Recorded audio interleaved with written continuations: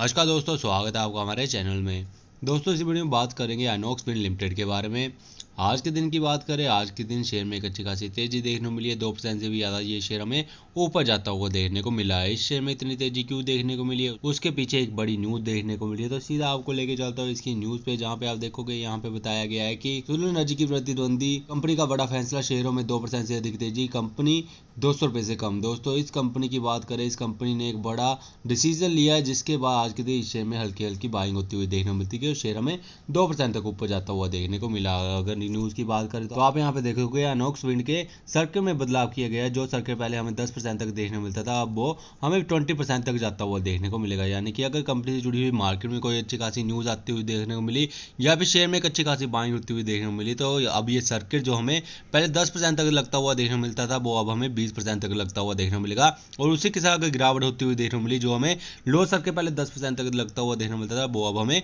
बीस परसेंट तक लगता हुआ देखने को मिलेगा, जो जो कि इस वजह से आज के दिन शेयर में एक अच्छी खासी बाइंग होती हुई देखने को मिली कि शेयर पहले हमें दस दस परसेंट के अपर सर्किट दिखाता हुआ देखने को मिलता है लेकिन अब शेयर अगर भागा तो बीस परसेंट का रिटर्न एक ही दिन में मिलता हुआ देखने को मिल सकता है, जो कि बहुत अच्छी बात देखने को सामने आती है। उसी के साथ कल बढ़त के साथ बंद हुआ था शेयर। अगर कंपनी की बात करें तो कल के दिन भी हमें इस शेयर में एक अच्छी खासी तेज़ी देखने को मिली थी, और यहाँ पे बताया गया कि मंगलवार के दिन हमें इस शेयर में दस परसेंट की गिरावट देखने को मिली थी, लेकिन उसके बाद कंपनी में दो दिन एक अच्छी खासी रिकवरी होती हुई देखने को मिली और उसी के साथ प्रमोटर ने पिछले महीने घटाई थी हिस्सेदारी। दोस्तों का प्रमोटर ने अपनी हिस्सेदारी घटाई थी ब्लॉक डील के ज़रिए इन्होंने अपनी कुछ शेयर बेचे थे, पाँच परसेंट की होल्डिंग बेची थी, जिसके ज़रिए कंपनी ने नौ सौ करोड़ रुपए जुटाए थे। उसी के साथ कंपनी ने इस पैसों का यूज़ कर्ज को चुकाने के लिए किया है, जो कि एक अच्छी बात देखने सामने आती है। कंपनी ने अगर हिस्सेदारी की घटाई है तो उस पैसों से कंपनी ने अपना कर्ज खत्म किया और कर्ज खत्म होगा, यानी कि कंपनी आने वाले समय एक अच्छा खासा रिटर्न के दे सकती है, क्योंकि कर्ज के रूप में जो इनका लोन ई e जाती हुई देखने मिलती थी, वो अब जितनी जल्दी कर्ज खत्म करेंगे, उतना, उतनी जल्दी इनकी किस्त बचती हुई देखने मिली और आने वाले समय अपने बिज़नेस एक्सपेंड करने के लिए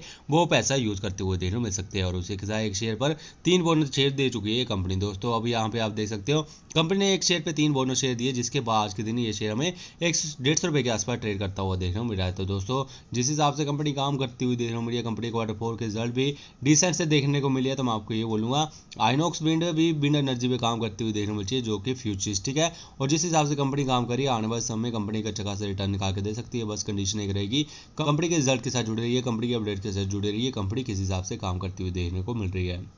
सो आशा करता हूँ दोस्तों आपको ये अपडेट अच्छी लगी हो, अच्छी लगी हो तो इस वीडियो को लाइक ज़रूर दीजिएगा। धन्यवाद।